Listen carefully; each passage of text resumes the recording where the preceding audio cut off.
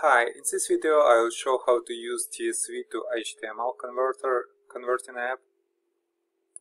This is my website, I will leave link on this site into description. To find app, I will click on search and find and type TSV to HTML. I need this one. So I'll click on app page, click on the load button to start the loading process and then wait until the file will be downloaded.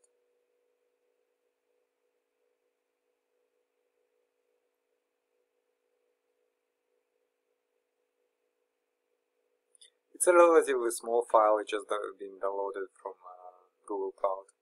So I'll click on downloaded archive, double click on MSI Inside Archive and click on more info here. I'm getting this screen from Windows because I'm not registered publisher. With Microsoft you can see publisher unknown, so I'll just click run anyway to start installation. Click on next, next install, click on yes on the screen and click on finish.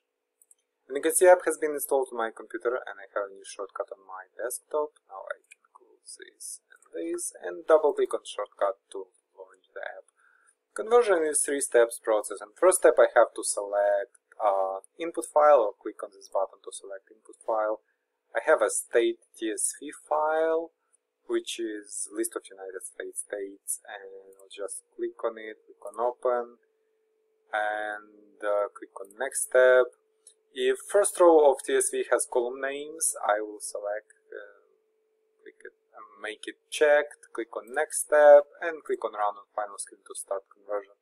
Now I have to specify name of the file, a location. By default it will be in my documents and name will be auto generated. If name and location is okay, just click save. And you can see file has been saved. Now let's go and see file. I'll double click on HTML to open it with Firefox. And uh, Firefox will open and will show me the page it has been converted. So you can see it's all data from a TSV file has been converted into nice HTML page.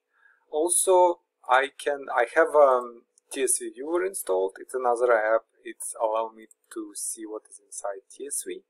I will leave link of this app to its free app. It's showing what is inside TSV file allow me to sort it and export into different format if I want to. And but mostly it's just viewer, so I can see that my data has been converted properly from Alaska to Wyoming. All 50 states are here. Yeah, so basically that's it. If you have, uh, we have our HTML file we can upload it, we can email it, and uh, a file can be opened in any browser. So that's it. If you have any questions, please them leave them in comments below. Thank you.